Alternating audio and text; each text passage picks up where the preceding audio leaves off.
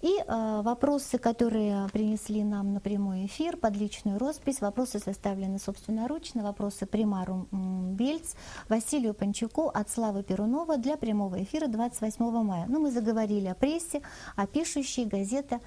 Мы, э, следующий вопрос. Первый.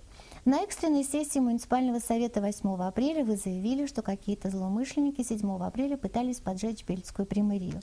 Согласно данным полиции, эти сведения и э, зачем нужно было это нагнетание и так взрывоопасной обстановки? Вопросов всего 4 или 5 даже. Вот это первый вопрос, если можно. Не хотелось бы говорить сегодня о политике, но тем не менее, пожалуйста, Василий Ну, во-первых, я говорил это на заседании совета, совета, а не на публичном выступлении, который, кстати, митинг был перед этим. Я считаю, что советники должны знать истинное положение дел, угу. и никто не нагнетал обстановку, а наоборот доводилось истинное положение дел, которое было в этот момент.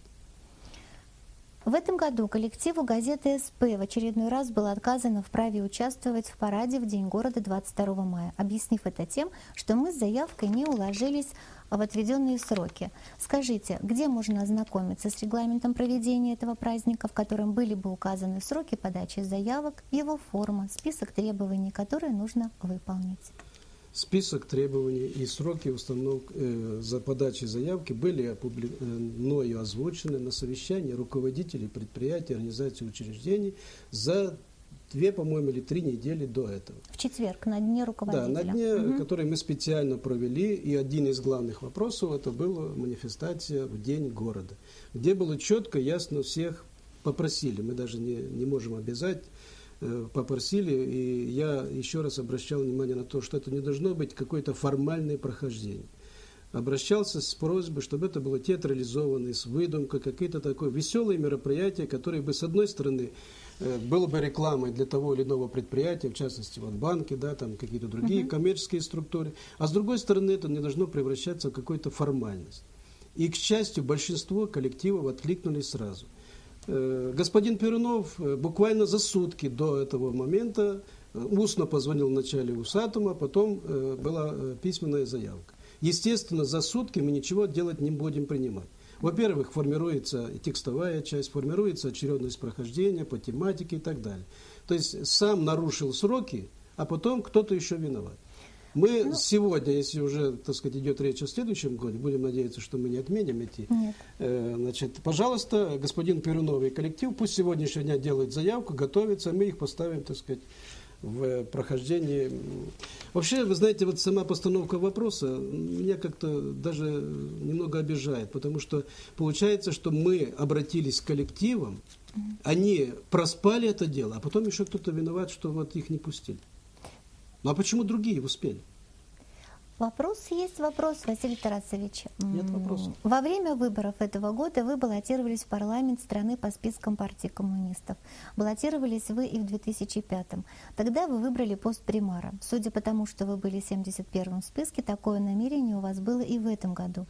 Насколько этичным вы считаете такие поступки, когда вы собираете голоса для партии, в которой даже не состоите, используя свою популярность среди бельчан и административный ресурс, а потом фактически обманываете избирателей, отдавших за вас голоса.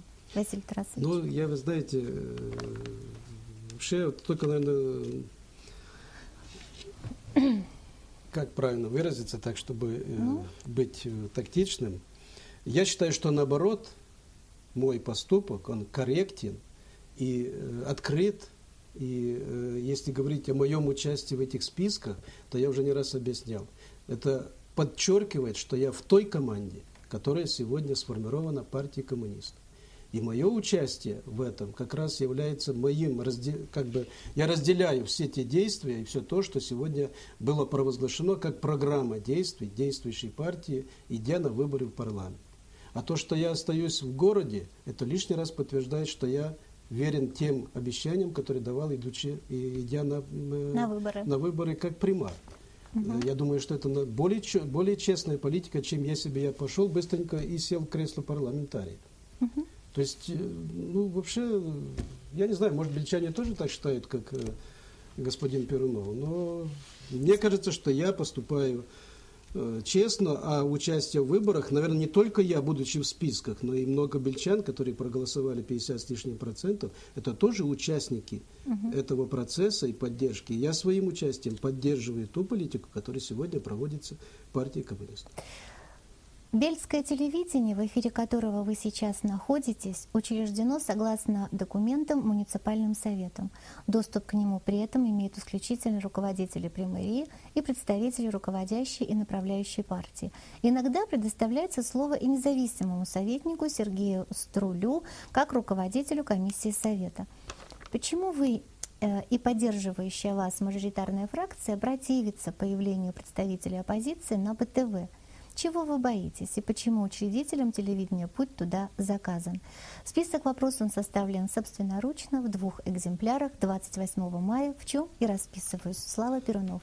Василий Значит, мы уже не раз говорили э, вот, с вами о том, что подобные эфиры, они проводятся с целью ответить, дать возможность бельчанам отвечать на те вопросы, которые касаются деятельности городского хозяйства. И если взять перечень вопросов, с которыми обращаются бельчане, здесь нет ни одного вопроса, связанного с политикой. Более того, мы принципиально здесь не выносим политический вопрос.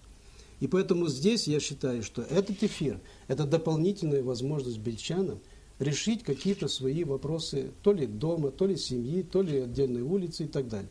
Это считайте, что есть личный прием, есть личные э, значит, э, прямые телефоны и в том числе прямой эфир. Как у исполнительной как власти. Как у исполнительной угу. власти, которая обязана отчитываться, принимать вопросы, принимать проблемы бельчан, а не заниматься политиканством на, на глазах у всех бельчан. Вот если бы те, кто претендует, приходили и сказали, почему там дорога разбита, когда она будет сделана, почему там, так сказать, лифт не работает и, и многие другие вопросы, на которые мы отвечаем, пожалуйста, только берите на себя и возможность решать эти вопросы. Если вы заметили, уважаемые бельчане, и я надеюсь, Маргарита Михайловна, вы подтвердите, за все время моих прямых эфиров ни разу я не поднимал ни один политический вопрос. Да, это основное... Всегда мы отвечаем и говорим, что эти эфиры предназначены для того, чтобы бельчане могли с первых уст и задать вопрос, и услышать ответ, или принять, или мы имеем возможность принять вопросы бельчан к решению. Угу. Вот с этой целью, я думаю, что здесь как раз должна быть исполнительная власть и представители тех служб, которые выполняют эту работу. Потому что в конечном итоге, я думаю, даже если здесь будет советник, и ему зададут вопрос, почему дорога не прогредирована, советник напишет примару запрос что, уважаемые примарии, неуважаемые, прошу разобраться, вот мне дали, вот как сегодня бывает же на приемах у советников, и отдельные советники пишут примару запросы, что вот ко мне обратился такой-то бельчанин, прошу принять меры, разобрать. Так не лучше ли прямо, напрямую задать примару или вице-примару этот вопрос и решить ту, ту или иную проблему? Просто... Поэтому здесь э, господин Перунов, так сказать, э, немножко лукавит по части э, вот этих всех вопросов.